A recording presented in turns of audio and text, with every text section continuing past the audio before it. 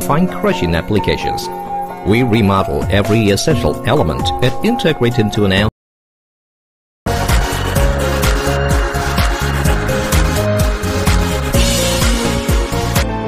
It is perfectly suitable for the non-flammable and non-explosive minerals, with ammo edges hardness below 7 and moisture below 6%.